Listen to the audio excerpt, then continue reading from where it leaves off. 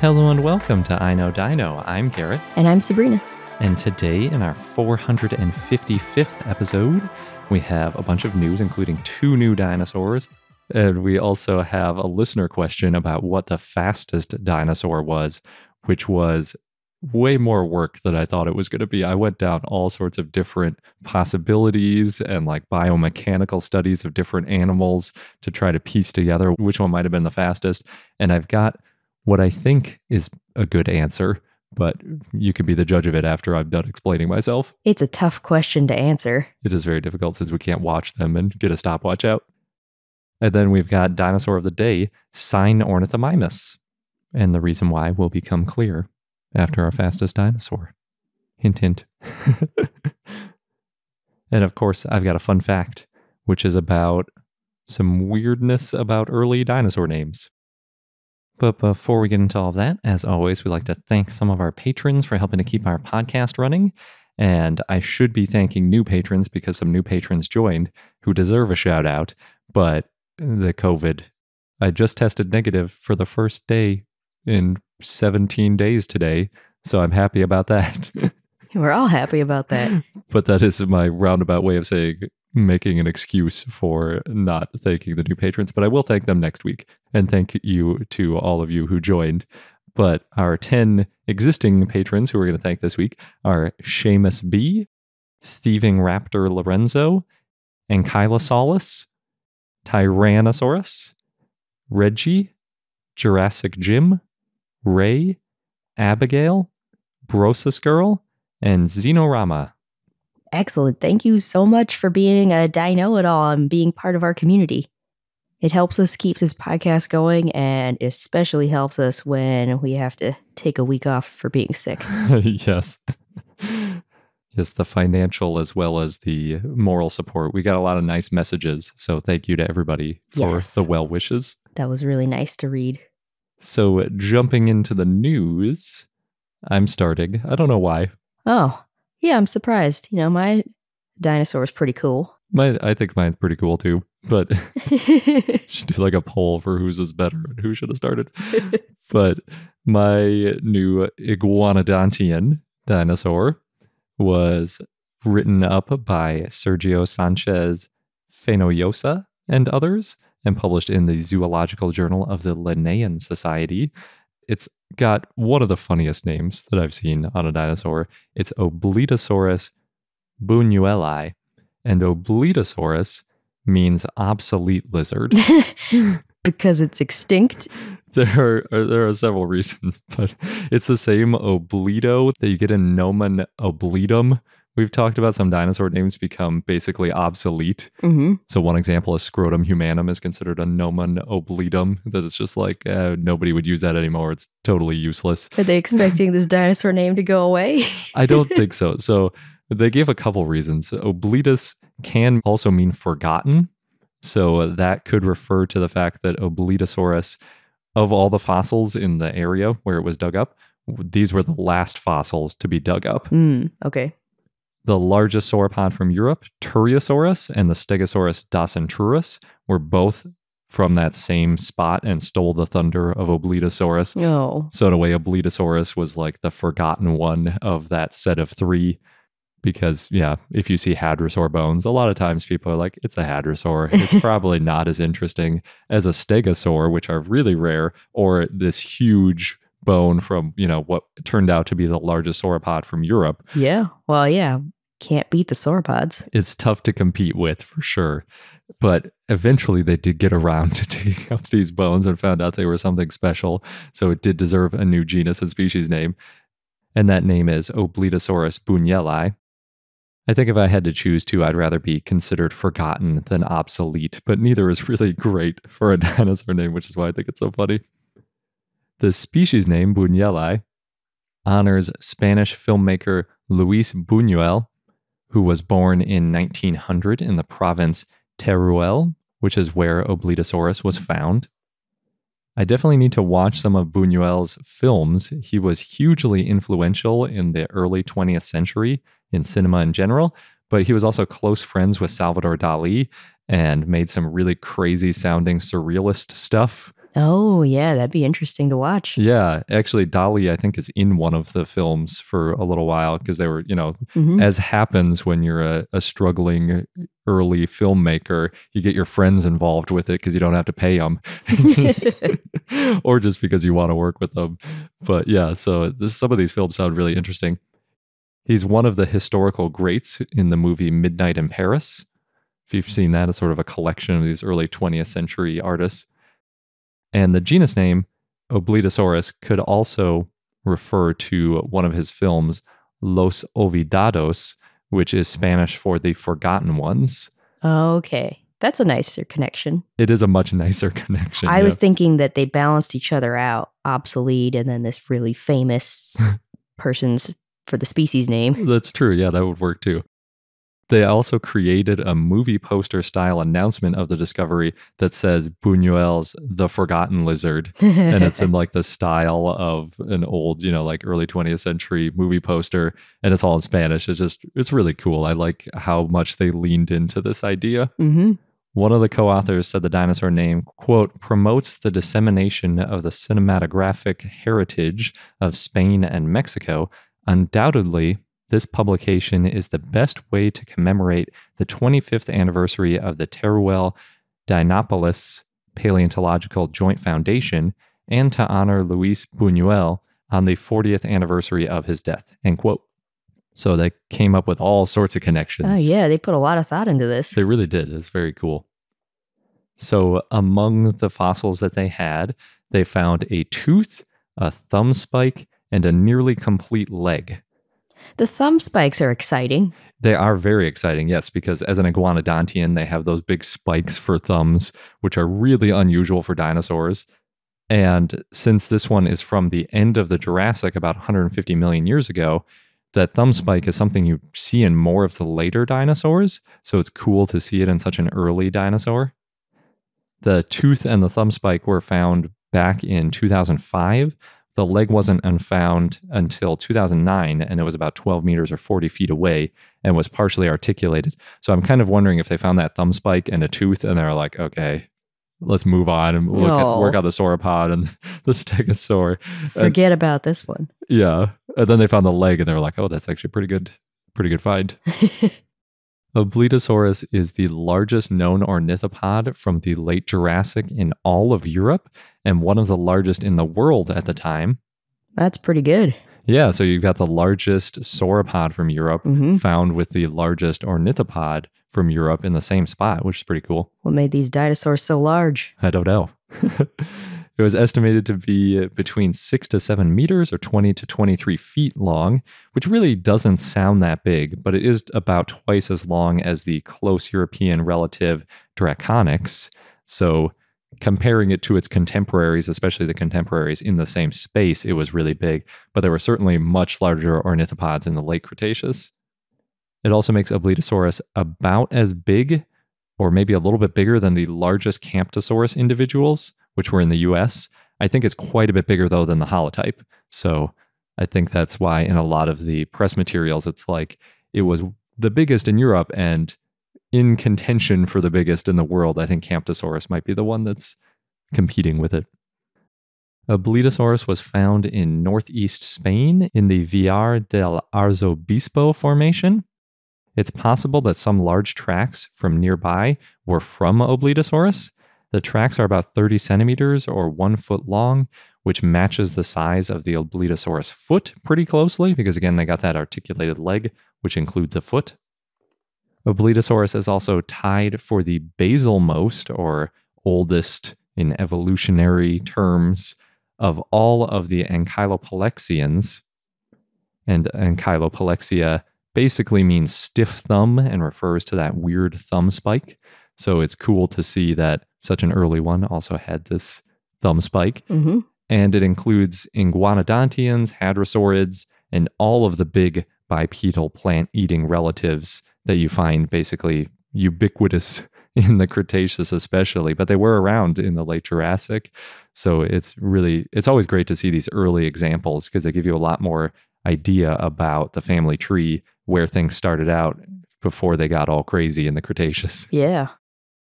And the discovery of Oblitosaurus also helped clear up some of the Iguanodontian family tree in general. Oh, nice.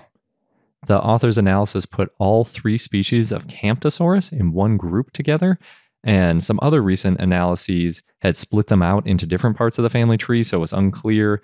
There have been proposals to change the genus name of a couple of these species because you don't want to have the same genus in, in multiple places. That's very confusing. So then you have to get different genus if they're going to be in different parts of the family tree. But it might be okay having them all in Camptosaurus if this turns out to be correct. So it turned out to be a pretty important find. It did. Even though it was forgotten, I wouldn't consider it obsolete. No, if anything, it brought a lot of new information to light. Far from obsolete. Good for you, Oblitosaurus. Even though that name literally means obsolete. so I was going to say that I had you beat because my ceratopsid fills in a lot of gaps about ceratopsid, but then you just said that Oblitosaurus uh, filled in some gaps. So, hmm, might have to uh, let the listeners break that tie. and I'll get into all those details in a moment, but first, we're going to take a quick break for our sponsors. So, yes, there is a new Centrosaurine ceratopsid. Like I said, it fills in a lot of gaps about ceratopsids, specifically what their bodies looked like, which is cool because usually we know more, way more about the skulls. Yeah. Yeah. You're just tripping over horns and frill chunks all over the place, but not a lot of body parts. They must have been very tasty. yeah, right. It, that's true. This one is named Furcatoceratops elucidans, and it was published in Cretaceous Research by Hiroki Ishikawa and others. It lived in the late Cretaceous in what is now Montana in the US. It was found in the Judith River Formation, and it lived about 76 to 75 million years ago a lot of ceratopsians have been found in the Judith River Formation, but most of the skeletons are very fragmentary. But not in this case. In this case, they found a nearly complete skeleton. It was excavated and prepared by Tribal Paleontology, Inc. And they also found, well, they did also find fragments of hadrosaur limbs. So there you go. I got some hadrosaurs in, in my story. There's some hadrosaur in my ceratopsian. Now, Furcatoceratops had some unique features in the horns and the nasal. The holotype they found was disarticulated, meaning it wasn't as it was in life. All mixed around. Yeah, the bones were a little mixed up, but it includes part of the frill, beak, horns, a lot of the skull, most of the middle of the body, like the ribs, vertebrae, pelvis, shoulder, etc., a lot of the tail, and bones from three out of four legs. Hey.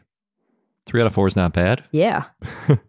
I'm mostly thinking that whole middle section of the body is is what's pretty great. The bulk of it. Yeah, the bulky body. Uh, the left side was more complete than the right side. It looked somewhat similar to Nasutoceratops, and it's closely related to Nasutoceratops, so that makes sense. It walked on all fours. It didn't have that nose horn. It also had that bulky body, but it had a short frill and two short brow horns that pointed straight ahead, and then it had a rounded snout. When you say straight ahead, does that mean they were pointed like in front of it or that they weren't curved at all? Like they were perfectly straight? I think it was in front and forward facing and not curved. They're almost too short to be curved. Oh, I see. At least without the keratin. Maybe they looked more impressive and longer with the keratin horn coverings when it was alive. You could say that about any dinosaur. But I was thinking more so for these ones where it was like, oh, it's it just had, you know, small horns, not a big deal. oh, I mean, they're still large. They're just not as large as other Not meter long. Yeah. Now, its nasal is similar to Nasutoceratops. It's got a low bump, but it's unclear if it had a horn on its nose. The paleo art doesn't show any nose horns. Again, we get we don't know about the keratin. Yeah, but if there's no uh, bone there, really, it's kind of Oh, rounded. That's true, yeah, because some of them actually have a bony horn Mm. in addition. The jugal or the cheek is broad and flat, and it had small and blunt epijugals, so armored cheek plates. and there were epiossifications around the frill, so some bony extensions of the frill.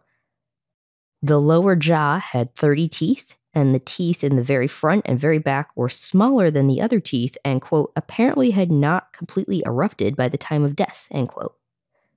It also had long unguals or hooves, as seen in other young ceratopsids, which maybe you've guessed by now, this was a younger one. It was a subadult. Ah, that could explain some of these smaller horns too. It could be. They did histology on it, so that's how they know. They found two lags, the lines of arrested growth, so it's probably two to three years old when it died. Yeah, that's small Yeah. or young, I should say. Yeah. it wasn't that small. Maybe it was small for a dinosaur. I don't, eh, maybe not. Actually, no. It was moderately sized because it was about 10 feet or 3 meters long and 5 feet or 1.5 meters tall, according to the skeletal reconstruction figure in the paper. That's pretty good. It takes humans a lot longer than two to three years to reach five feet tall. Yes. And we never reach 10 feet long. No.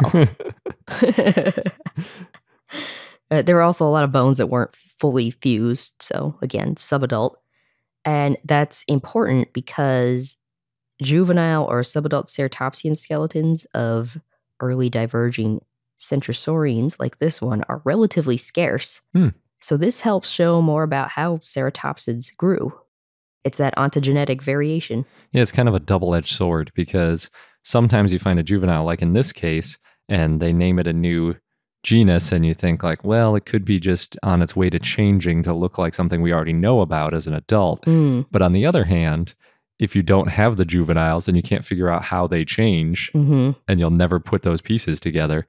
So you you do need both. It just depends on the situation whether you'd rather get a juvenile or an adult. Since they're classifying this as a subadult, I think it's more on its way towards adulthood Yeah. than juvenile. Yeah, it's always hard. Different people use different terminology, but I, at two to three years, I think you could still call it a juvenile, or a lot of people might. Mm. So going back to yeah, being about ten feet or three meters long, its body size is comparable to relatively large adult-sized centrosaurines, but like we were saying, being a subadult, its body size doesn't necessarily mean it was mature.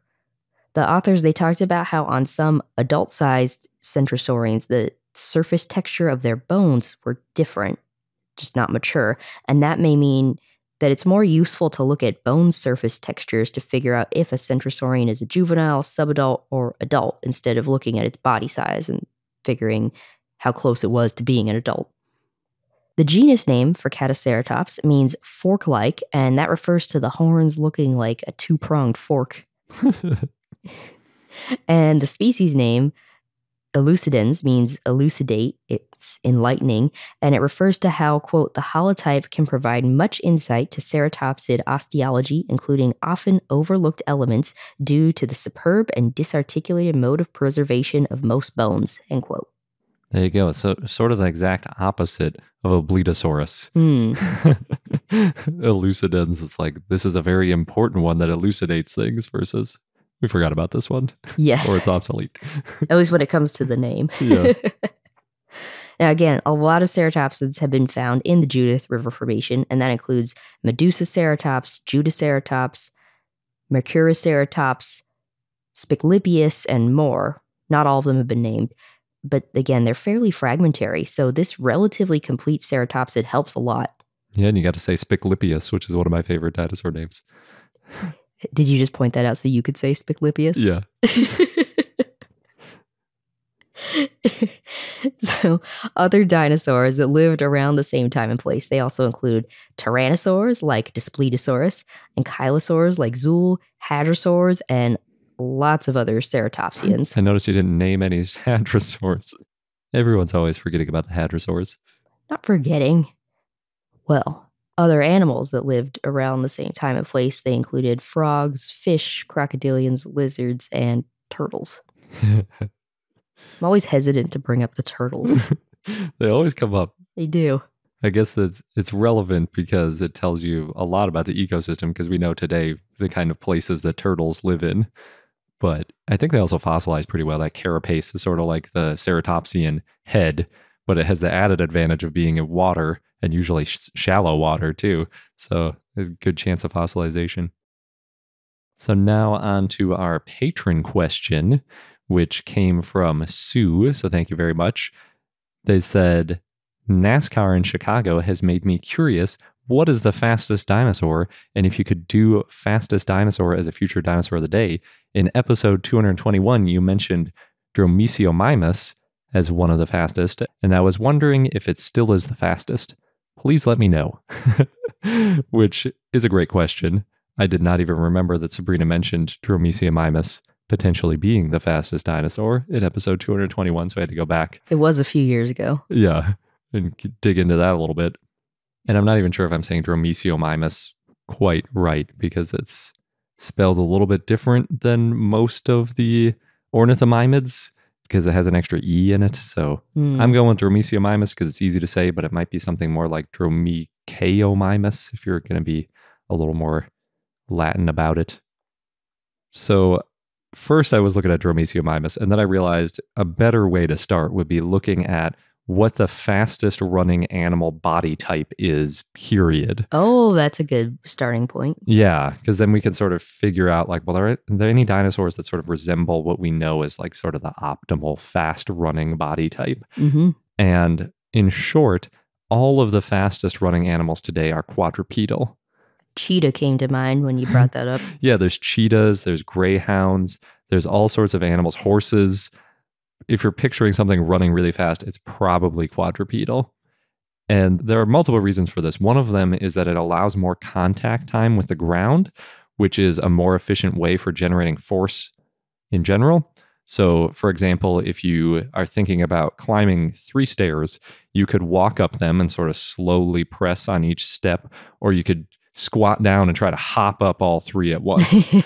and if you were going to climb a lot of stairs, you'd be better off slowly pressing on each step than trying to hop up each one, where you're having to exert a lot of force with less contact time than if you can sort of gradually press. And there are thermodynamic calculations for this too, where like if you go infinitely slow, that's the most efficient way to get force going.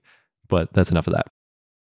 Quadrupeds also have this advantage where they can flex their spine while they gallop, and they use all of their back muscles in addition to their arm and leg muscles to propel them forwards. Hmm. It's really cool. I watch a lot of slow motion cheetahs and other galloping animals, hmm and the way that they use their back is just amazing.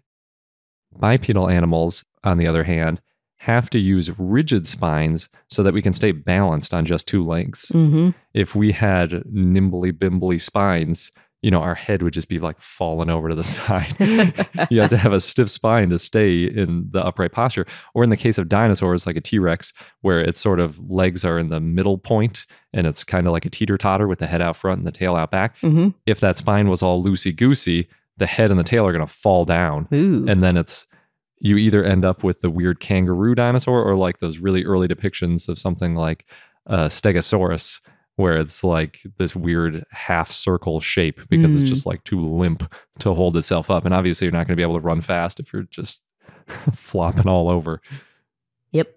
When I think fast, I don't think floppy. Nope. When we're talking about dinosaurs, though, we haven't found any quadrupedal dinosaurs that are built for high speed. The closest might be big hadrosaurs that were at least partially quadrupedal. At least that was the one I could think of. Can you think of any other quadrupedal dinosaurs that look like they might have been quick? Huh. Quadrupedal. No, I always think of them as slow moving. Yeah. I think the reason is that most of the quadrupeds traded being huge for being fast. hmm they just for whatever reason it was like a lot of these animals that we know they started out as bipedal and meat eating and a lot of the ones that went into eating plants got quadrupedal and got slow we didn't see anything develop into something that looked like a galloping animal at all none of them have the right leg lengths or the right proportions or the right flexibility of the back that you look for when you're looking for a galloping quadrupedal animal hmm it would be really cool though. It's, it's not impossible that we could find something like that someday. That's what I love about dinosaurs. There's always a possibility. Yes. As a, a weird fun fact side that I didn't want to use as an actual fun fact because it was just too weird. there are humans that run quadrupedally. Really? Yeah, the world record I saw for a 100 meter dash quadrupedally is something like 15 and a half seconds. And the world record for bipedally is it's in the nines. Huh. So it's not that much slower. Basically, it's the same sort of strategy that galloping animals use. hmm You do like left hand down, right hand down, right leg down, left leg down. hmm It's sort of in a circle. Is how galloping animals go, you know, like the sort of rotating in a circle. And that's how quadrupedal humans, I think they're just doing it for fun, basically. Yeah. Do it, but they get up to a decent speed. It's just the problem is our shoulders and our proportions aren't in the right orientation for really using our arms for locomotion. hmm Plus, like I said, our back is way too stiff, so it doesn't really help. We end up in this sort of like weird V shape rather than a nice galloping, like curved shape. But anyway, back to dinosaurs. Since there aren't any really fast quadrupedal dinosaurs, we're basically left with finding the fastest bipedal dinosaur. And I will say Dromiceiomimus is definitely a contender for the fastest dinosaur. It would be fitting since the species name means emu mimic. The scientific name for emu is Dromeseus or Dromechaeus. At least it was at one point. It sort of got changed later. But emus are some of the fastest birds. According to the Audubon Society, emus are the second fastest running birds at 50 kilometers an hour or 31 miles an hour. Wow. Although ostriches are quite a bit faster. They run about 70 kilometers an hour, 43 miles an hour, which isn't as fast as the fastest quadrupedal animals, but it's not that far off. It's very impressive for a bipedal animal for sure. hmm In fact, ostriches can maintain the emu's top speed continuously for miles. Impressive. One place I looked said they could do it for about 30 minutes, which would cover about a marathon, a little bit less than a marathon at like 30 miles an hour. It's pretty crazy. Some sources do say that rheas are slightly faster than emus by about 5 to 10 kilometers an hour or 3 to 6 miles an hour, which would make the emu the third fastest living running dinosaur. And that's pretty cool too, because ostriches obviously are huge. Emus are a little bit smaller, but rheas are actually quite a bit smaller still than emu. hmm So it's interesting that rheas could be faster. It's not as simple as just the longest legs, the biggest bird Oh yeah. runs the fastest. Well, I was thinking with Rheas that they're small, or because they're smaller, they're lighter. Yeah, exactly. Yeah. But then that doesn't explain because they're still smaller than ostriches that Yeah. are faster. It's a very complicated, it depends on the length of the leg, the ratio of leg bones, the musculature, the flexibility. There's a lot of factors in it. And it- even things as detailed as like how much fast twitch versus slow twitch muscle fibers they have and elasticity and tendons and stuff that it gets really complicated and it all interacts together for a combination of which ones are built for fast bursts of speed versus long distance running or combinations. That makes me think it's hard to know which dinosaur because we don't know that much about the specific muscles. It is very hard, yes. also, for the record, the fastest running birds that can fly are roadrunners at about 33 kilometers an hour or 21 miles an hour, which is slower than actually a lot of human sprinters. So, in all those cartoons where the roadrunners, you know, running like crazy, it can't really fly. It can fly, and it doesn't actually run that fast compared to a lot of other birds, and certainly not quadrupedal animals. Coyote could easily chase it down. Coyote gets loaded down by all its, his Acme products. yeah, I guess so. the most likely candidates for the fastest running dinosaurs, I would say, are ornithomimids. I believe I've seen other paleontologists throw this out there as a, a likely answer too.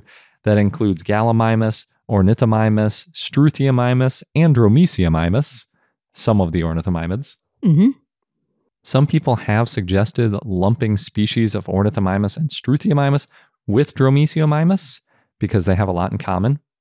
In general, they all look a lot like ostriches, again, the fastest living dinosaurs. So that's a good clue. It is. But again, just because they look similar doesn't necessarily mean that they behaved similar. hmm Ornithomimids get their fast speed, or presumably got their fast speed, because they're lightly built. They have long legs and also long foot bones, and they seem like they were probably pretty covered in muscle, which is also an important detail with how fast you can run. hmm Along with tyrannosaurids and troodontids, that had specialized feet with pinched together foot bones that would have helped them run quickly. Oh, interesting with tyrannosaurids and troodontids too. Yeah, so that's that arctometatarsalia, arctometatarsalia foot. I know you bring that up sometimes in your dinosaurs of the day of like some of the unique features. Mm-hmm. And it is one of the reasons too that people say maybe it was juvenile T-Rex that was the fastest dinosaur, but as adults they were definitely way too heavy to be contenders for the fastest dinosaurs. There's no way that a 9-ton animal is going to be outrunning everything else. It's just it's too much mass to get up to speed. Their heads alone were too heavy. Yeah.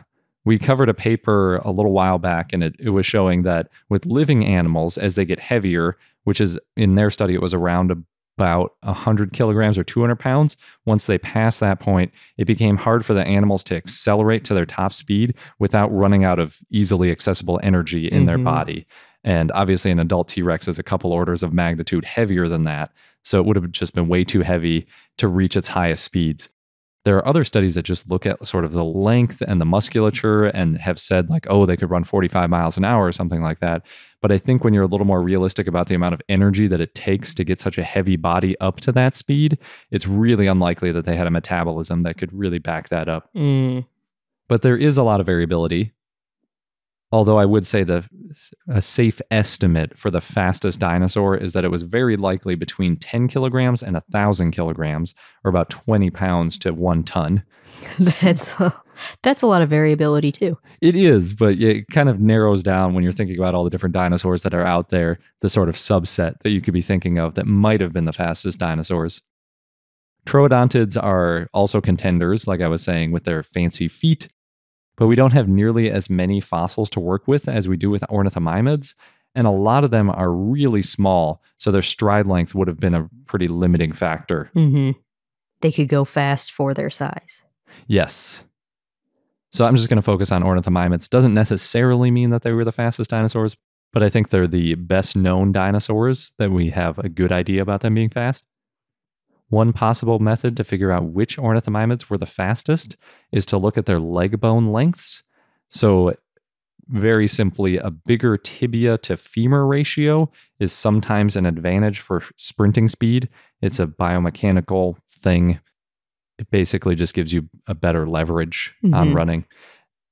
So, in other words, a longer lower leg and a shorter upper leg is what we're looking for. There was a 2020 study by Daichi Tomita and others that found that human sprinters with a higher tibia to femur ratio were faster in 400 meter races Oh wow. than those with, you know, longer femur to tibia ratios. Mm-hmm. They didn't find a difference though for 100 meter sprinters in this study. There were other studies that have seen it, but it's it's not super consistent Mm-hmm. because again, there are a lot of other factors. Including the distance. Yeah. One of the defining characteristics of Dromiceiomimus is that it had a different tibia to femur ratio than Gallimimus, Ornithomimus, and Struthiomimus, which is pretty interesting when you're thinking about was it a faster sprinter? Yeah. A study by Ian McDonald and Phil Currie back in 2018 looked at several individuals to compare the leg proportions, and they were partly looking at them just to see if they should all be unique genera. You know, are they all their own type of dinosaur, Mm-hmm. or are they too similar? And what they found was that on average, Dromiceiomimus had a 11% longer tibia to femur ratio than Gallimimus. Hmm. It was about 8% longer than Ornithomimus and about 6% longer than Struthiomimus. So yes, they deserve to be separate genera. Yeah, that was basically their conclusion. But you could also look at it and say if the only factor you're looking at is that tibia to femur ratio, that you would expect Dromiceiomimus to be the fastest, followed by Struthiomimus, then Ornithomimus, and then Gallimimus. Mm-hmm. At least in this four. There are other ornithomimids, but just of those four, that would be the ranking. Unfortunately, though, it's not that simple in real life when you're comparing between species, especially. Mhm. Maybe within a species, like I was saying, with just humans, or if you're looking at, say, just cheetahs or just greyhounds or something, then it might work out. But when you're looking between species, there's so many other factors. Yeah, look at ostriches versus rheas. Yeah. Penny Hudson and others in 2011 compared the leg lengths of cheetahs and greyhounds to see how cheetahs are so much faster than greyhounds because they are way faster. they've found that greyhounds consistently had longer tibia to femur ratios than cheetahs, Hmm. which just totally flies in the face of this. They were like 30% longer Ooh. on average, so much longer.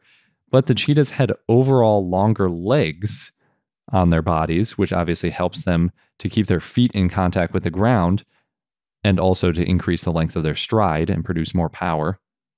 Strangely, cheetahs have smaller muscles at their hips than greyhounds, which seems very strange because a lot of the power comes from the hips. Yeah. Presumably, they generate power more from their backs. Like I was saying, how quadrupedal animals can gallop and use their back sort of like a big spring. That flexible back. Yeah. So when they're when they're jumping forward, they bring their legs up and forward, and then they crunch up their back basically. And then when their back legs touch the ground, kind of in front of them, they can use their back to stretch out like a you know a huge leg press, including the back, and you know really f- get that force going behind them. I know this is the wrong analogy, but I'm thinking of a slinky when the way you were describing that. a little bit, yeah. Or you could think of maybe like a kangaroo or something. It's Mhm. just got that sort of rebounding force to it. yeah, because slinkies are too floppy. Yeah, that's true. Although the floppiness is a feature a little bit, the flexibility. Hmm. So, with bipedal dinosaurs, maybe their tail musculature might have had a similar impact to the back musculature in something like a cheetah or a greyhound. Like we've talked about the caudofemoralis helping to lift the leg muscles. So, maybe that could give us a clue. hmm But other than the overall limb length, most of those features don't directly fossilize and they have to be modeled or assumed based on similar animals. If we go by overall limb size, Gallimimus is a strong contender for the fastest since it was especially tall. It's the largest known ornithomimid, known from more than just a bone or two. And at the hips, it was around 1.9 meters or over six feet tall. I'm just thinking about that scene in Jurassic Park and yeah, how close they got to that flock of The stampede. stampeding. Yeah, Yeah. Gallimimus, that would be terrifying. and they were scared in the movie. Mm-hmm. Yeah, so Gallimimus had legs that were quite a bit longer than an ostrich. So if you're just thinking about stride length, you'd think, oh, okay, maybe it could be as fast or faster than an ostrich. But we don't know its exact stride length since fossilized running tracks are so rare and we don't know the sort of flexibility of its legs and how far out it could stretch them. We also don't know how fast it could swing its legs. Cheetahs can swing their legs quite a bit faster than greyhounds, for example. So even at the same stride length, they can move faster because their you know their feet are just moving faster. So if you're doing the same stride length but you're doing it twice as often, you go twice as fast basically. Hmm. Counting against Gallimimus, a large Gallimimus weighed about half a ton, which might have slowed it down compared to some of the smaller ornithomimids, depending on its metabolism. So, given the similarities between the fastest birds today and ornithomimids, I think they're our best guess. Probably one of them that's close to 100 kilograms, like Ornithomimus, Struthiomimus, or Dromaeosaurus. But Gallimimus is probably a little bit too heavy, although still a possibility. And I think since Dromaeosaurus had that biggest tibia to femur ratio, you know, it's it's definitely a contender. It could be the fastest dinosaur. Yeah. I don't know that we'll ever know for sure the answer to this question. We won't ever know for sure. We might eventually be like fairly confident, hmm but yeah, well, it, you can never know these types of things for sure. So thank you, Sue, for the question. Sent me down quite a few different types of research rabbit holes.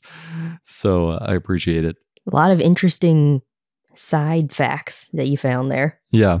And if anybody else has a question, feel sh- free to shoot it to us on Patreon or in Discord or something like that. Yeah. We'll get into even more ornithomimosaurs in a moment with our dinosaur of the day, but first, we're going to take a quick break for our sponsors. And now onto our dinosaur of the day, Sinornithomimus, which I'm going to say is a request from Sue via our Patreon Discord, but technically the request was for the fastest dinosaur. Continuation. Yes. and like we were just talking about the fastest dinosaurs, we're thinking are ornithomimosaurs. We have covered a lot of ornithomimosaurs as our dinosaurs of the day for this show, so I had to find a new one. But based on Garrett, what you just said about that it was probably one that was close to 100 kilograms, this one works because it was estimated to weigh about 201 pounds or 91 kilograms. Mm-hmm. Yeah. Yeah, that's definitely another contender for fastest dinosaur. Yeah. There's a 2015 paper by James Farlow and others on theropod locomotion, and they said that cursoriality running is something we're not sure what it is, but we think we know it when we see it. like that an animal that looks like it could run fast in other words. Yeah. So again, it's hard to know exactly how fast dinosaurs could run. And there were some fun facts I found about Sinornithomimus, so here we go. It was an ornithomimid, again, that lived in the late Cretaceous in what is now Inner Mongolia Autonomous Region in China. Found in the Ulansuhai Formation, and it lived about 90 million years ago. It looked somewhat ostrich like, but with a shorter neck and a longer head and longer tail. And again, those ornithomimids, they had the toothless jaws with the beaks and the long necks and the long arms and legs. But this one had a relatively short neck and head for an ornithomimosaur. It's estimated to be 8.2 feet or about two and a half meters long, and again, weigh at that pretty sweet spot, almost 100 kilograms, 91 kilograms, or 201 pounds. And it had slender arms. The type species is Sinornithomimus dongai. It was described in 2003 by Yoshitsugu Kobayashi and Lu Junchang. The genus name means Chinese bird mimic, and the species name is in honor of Zhiming Dong, who found the fossils.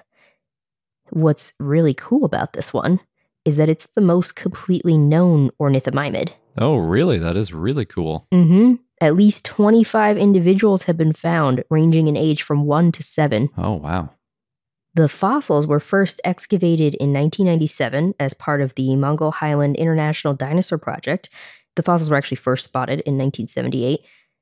It was found in a bone bed of at least 14 skeletons, and each one of those skeletons had gastroliths. There were three subadults to adults and 11 juveniles. Nine were nearly complete and mostly uncrushed. And the holotype they chose for Sinornithomimus is a subadult. Now, in that first expedition, they ran out of time, but they managed to collect multiple skeletons. And then in 2001, there was a second expedition that found even more skeletons. So that's how we got up to 25. That's so many. Especially a lot of ornithomimids we just know from like a, a few foot bones or, you know, a leg or something. Yeah. Well, not only is it so many, but they're really well preserved because that bone bed has been compared to Pompeii. Hmm. One article said they even knew the size of the dinosaur's eyeballs. I think they were talking about the Sclerotic ring, exactly. the little eye bones. Those are hard to find. They're very fragile. yeah. The expedition team had to deal with a lot of dust storms in the Gobi Desert, and the team in the second round had some help digging. They had to treat the area carefully because you want to look at the surroundings to know what happened to the dinosaurs, not just dig out the skeletons, especially when you're in a bone bed. Like, what happened that made this bone bed? And Paul Sereno wrote about the experience in 2011 and said toward the end of their expedition, they had a day off and they played a game of basketball at the Chinese Army outpost. And they noticed that they had heavy equipment. So they asked officials at the base if they could help them excavate the dinosaurs. And they had many rounds of Baijiu. And a few days later, the team got a bulldozer. the bulldozer removed the hill for them so the team could excavate the last 13 individuals, and they also found the skull of an unknown predator. There was a 2008 paper that studied this graveyard. There's no evidence that the bones moved after the dinosaurs died, and the bones were unweathered and they were in siltstone and layers of clay, so it's likely that they all died in some sort of catastrophic event there were some crab like animals found around them, and that shows the dinosaurs were covered in water shortly after they died, and that's why they're so well preserved. So they found that they were trapped in mud. Now, modern animals rarely die stuck in mud, so it wasn't clear at first that that's what happened to these dinosaurs. You have to have just the right conditions with low water levels, and those conditions may only last a few days. When the animals are stuck in mud, they usually die from dehydration, starvation, and or predators coming after them. There were some hip bones missing, which might have been from a scavenger eating meat around the hips after they died. But there was no signs of weathering or tooth marks. There were no shed theropod teeth found around the skeletons, and the skeletons were mostly facing the same direction. Also, most of the individuals' legs were stuck in the mud with their bodies lying flat, Hmm. and some of the tails were stuck or plunged in mud. It's a strange situation. Yes, and one skeleton had fallen on top of another. So it's probable that they were walking around looking for water at the edge of a drying lake and then fell into the mud, Huh. which is unfortunate. That's weird. Yeah, there's marks in the mud around the skeletons that show that they tried to get out. Oh, I see. And it's really sad because they would have died a slow death stuck in the mud. And then if they're flailing, that would attract predators and eventually scavengers. Like it's stuck in a glue trap. Yeah. And since the this bone bed or graveyard was found with mostly juveniles, there were no adults, there were no hatchlings. It seems that the juveniles spent their time together and then Uh, you know maybe once they were adults they would join up with the adults. So even the seven year old wasn't considered an adult. I don't think so. It's just really sad when you think about it. like, oh, it's a group of juveniles that all died together, a slow, painful death. That's a huge downer. Yeah. but anyway, going back to why they might have been together and, you know, there's safety in numbers from predators. And it's possible that the adults focused on nests or brooding, and that's why the juveniles live together. Yeah, there are a lot of animals where the juveniles make their own little groups. Mm-hmm. Sinornithomimus got better at running as it grew up. Adults had relatively longer lower legs. There's your tibia to femur ratio. Yes. they took about 10 years to reach maturity. So, yeah, going back to what you were saying, seven years old is still a juvenile. The holotype had a 12 and a half inch or 32 centimeter long femur. And as it grew, as Sinornithomimus grew, the ratio of the tibia to femur, the leg bones, increased. Which, again, like you were saying, it's similar to tyrannosaurids. And going back to that idea of juvenile tyrannosaurs, it does seem that ornithomimids and juvenile tyrannosaurids were similarly good at running. Yeah, for sure.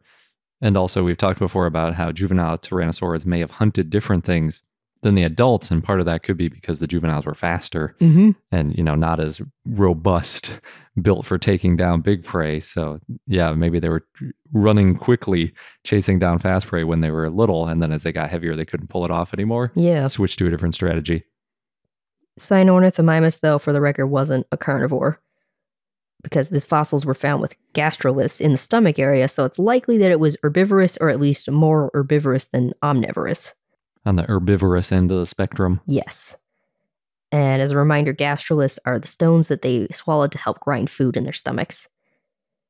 The larger individuals had larger gastrolith masses, which makes sense.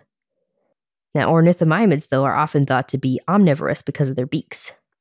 There was another ornithomimosaur found with what's probably gastroliths. There are pebbles found in the abdomen, and that was Shenzhousaurus. It lived in the early Cretaceous in what is now China. So that's more maybe evidence that these types of dinosaurs were more on the herbivorous scale.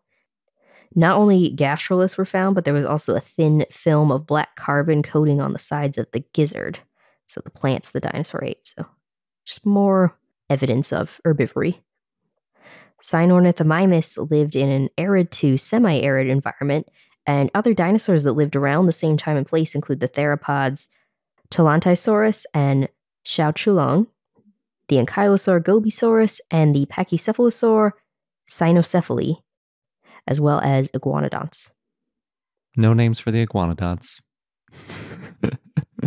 Just kidding. I thought you might say that.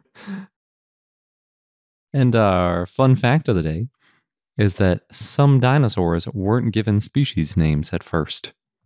Some dinosaurs haven't been named yet. Sometimes they're known as iguanodonts or a hadrosaur. But these are dinosaurs that uh, were known and were pretty famous. So okay. I would say that genus names are where it's at for dinosaurs.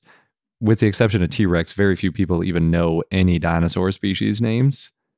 Obviously, with T Rex, Rex is the species, Tyrannosaurus is the genus. hmm Velociraptor, for example, is a much cooler name than V. mongoliensis, Hmm. I would say.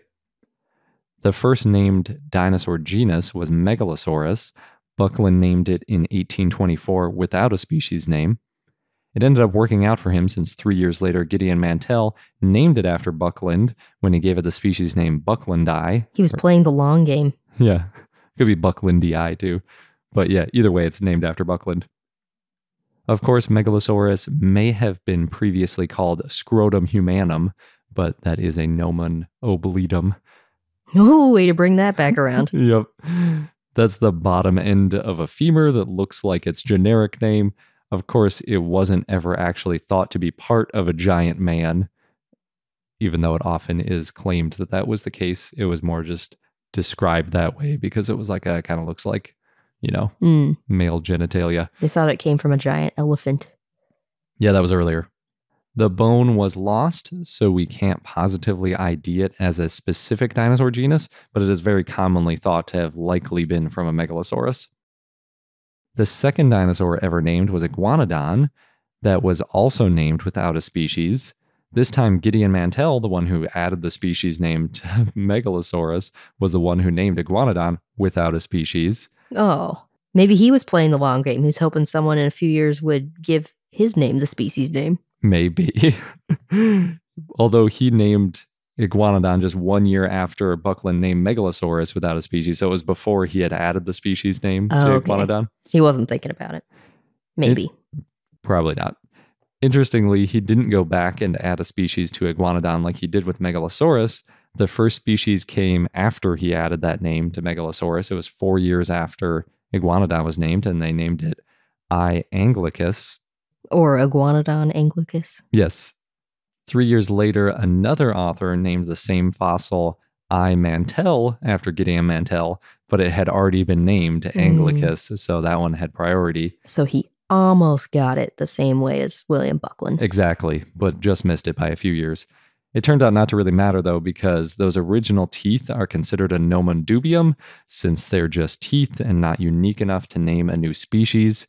And it took over 50 years before a species name actually stuck. That is Iguanodon bernissartensis. That's after the mine where the fantastic finds were found, Bernissart. hmm Later, one of those individuals became the type specimen. But don't feel too bad for Gideon Mantell. He eventually got Mantellosaurus named after him, and genus names are better. So Yeah. he got the genus name. People tend to remember them more than species names. Yes, nobody calls it M. bucklandii or M. atherfieldensis if you're talking about Mantellosaurus Hmm. atherfieldensis. Unless you're writing a paper about them. Yeah, sometimes it comes up then. It, sometimes if there's multiple species, it happens more often in the same genus. But since we don't have a good way of telling how closely related dinosaur species are to one another, it's always safer to just give each new dinosaur species its own genus name. That way, later on, if it turns out they aren't as closely related as you thought before, and there's another dinosaur that sort of goes in between them with a genus name that isn't Mhm. one of those two, then it makes it a lot easier to restructure these family trees without having to rename everything and get all confusing. It also makes it a lot easier to communicate about dinosaurs. For example, when people ask something like, How long was Mamenchisaurus? Well, the answer is it depends on which species you're talking about. Yeah.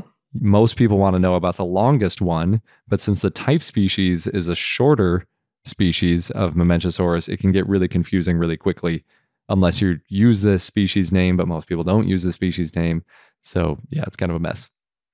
It's also more exciting to get a new dinosaur genus than a species of an existing genus. Like I would say the new genus Oblitosaurus is a lot more exciting than if the authors had stuck it in with an existing genus and it was just a new species name and it was something dot bunnueli. Hmm. It sounds like they had to make it a new genus because it was the biggest one. Yeah, it was very different from the other dinosaurs. So definitely deserved its own genus. But I, I'm a big time splitter when it comes to genus names. I think just give everything its own genus name. We're way too early still in dinosaur discoveries to be like, oh, these two are definitely very close relatives. There are some exceptions where it's like there's just one feature that's different. But I don't know. I'm all about new genus names. but it does need a species. you have to have a species. You can't go the Gideon Mantell, William Buckland route of just skipping the species. You do need both. yeah, it's not the 1800s anymore. Nope. And that wraps up this episode of I Know Dino. Thank you for listening. Stay tuned. Next week, we will be talking about a couple of new sauropods. I'm sure you're excited. I am. If you like this episode, then please share our show with a friend. Thanks again, and until next time. Good day.